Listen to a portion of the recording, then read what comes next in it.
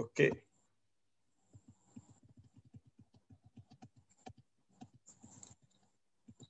Okay, now the first thing that you need. Hello.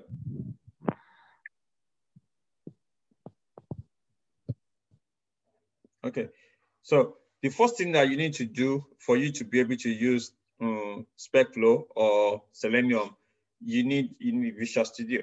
So how do you install Visual Studio? So you just need to go to, you can Google it actually. So the first thing you can Google Visual Studio. I'm gonna go bring one out now. Okay, so you just, if you just put Visual Studio, let's go to Google. So Visual Studio. So you go Visual Studio, you can click on download.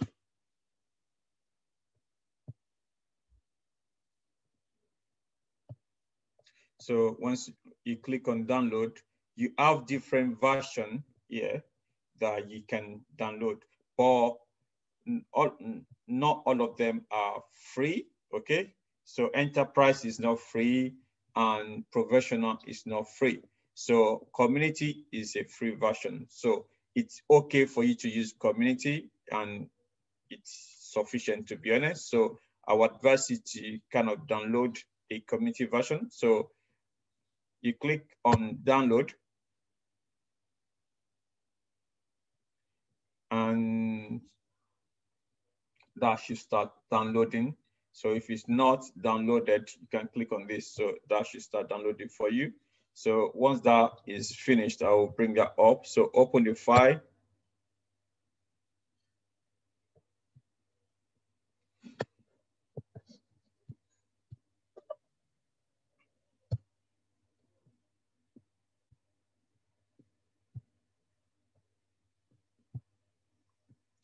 So, uh, so let me bring this up.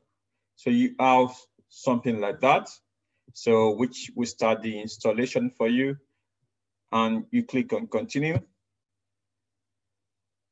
So that might take a while for it to finish. So I've already got one downloaded. Let's see. So once you got that downloaded, we start from that next week, actually. So you need to install this so that you can be able to work on the Visual Studio. Any question? So, and at the same time, another thing that I want to also do quickly is to how to inspect your element, basically.